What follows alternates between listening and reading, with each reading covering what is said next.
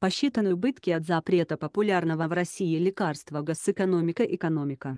15.50, 16 февраля 2019 года посчитаны убытки от запрета популярного в России лекарства. Фото, Александр Крижев, РИА Новости.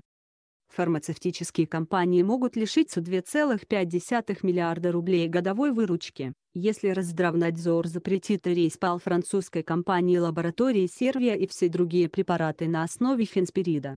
Это станет первым случаем за много лет, когда с рынка отзывают такой популярный медикамент. Об этом сообщает РБК. Решение об изъятии препарата было принято самим производителем в связи с тем, что французское Национальное агентство по безопасности лекарственных средств и товаров для здоровья приостановило продажи всех лекарственных средств, содержащих фенспирид. Исследования на животных показали, что действующее вещество может вызывать аритмию. Хотя клиническая значимость результатов не установлена, препараты было решено изъять из обращения в целях предосторожности.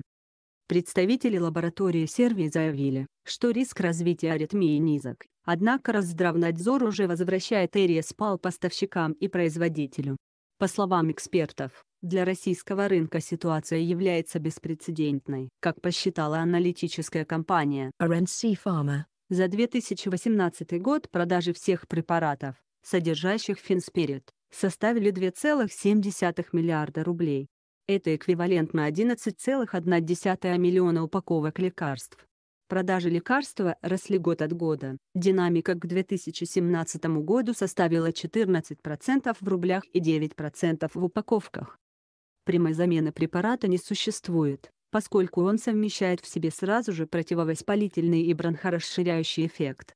В то же время его запрет не является критичным, поскольку эрейспал, в основном, используется при простудных заболеваниях и может быть заменен на другие отхаркивающие и противокашлевые средства. Больше важных новостей в Telegram. канале Лента Дня.